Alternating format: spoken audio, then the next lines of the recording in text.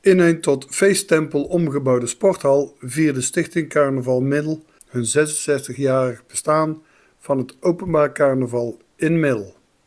Vrijdag genoot vooral de jeugd van de diverse DJ's. En op zaterdag begon men met bekendmaking van de winnaars van de Zingenmarkt 2023. Bij de, onder de, bij de top 10 zijn wij nooit gekomen. Maar we zitten altijd in de middenmoot. Een heel leuk om mee te doen. We zijn met een groep van 15 tot 20 mensen.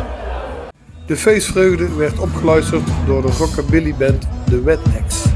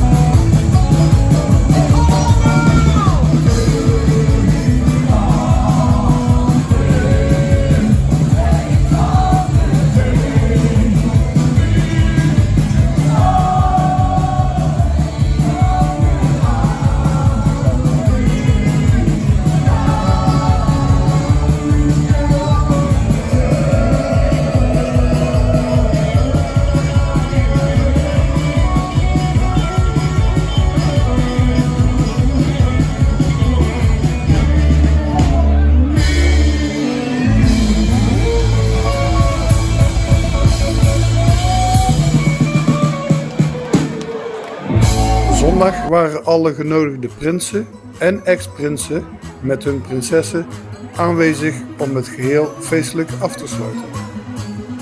Diverse dweilorkesten en dansmariekes zorgden voor de nodige sfeer.